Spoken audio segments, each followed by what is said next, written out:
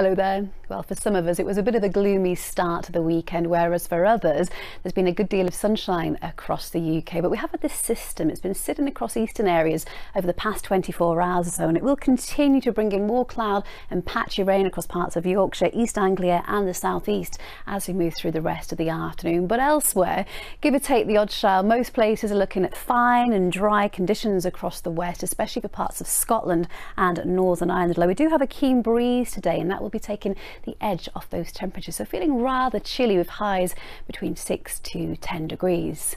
Now, as we move through this evening and tonight, that cloud and that rain will extend its way a little bit further westwards. So where we have the cloud and rain tonight, temperatures here across the south will be staying above freezing. But further north, where it's dry, we've got those lengthy clear skies. It's going to be turning pretty cold and there will be a widespread frost and some pockets of mist and fog in places. Bye bye.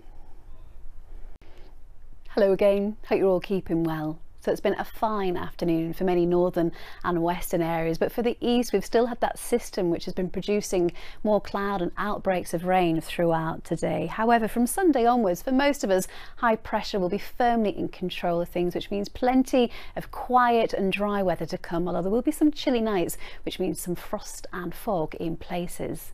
Now, as we go through this evening, you can see the cloud and rain will extend its way further westwards. So here, temperatures will be staying above freezing, but where we get get the dry, clear skies tonight, especially across parts of Scotland and Northern Ireland. It will be falling below freezing, so there will be a widespread frost. However, that means for tomorrow morning, although it will be a cold start in these areas, plenty of sunshine to start the day. And across the south still one or two showers around at times but a much better day compared to recent days. But still feeling chilly highs there up to around 8 or 9 degrees. I'll see you later on. Bye bye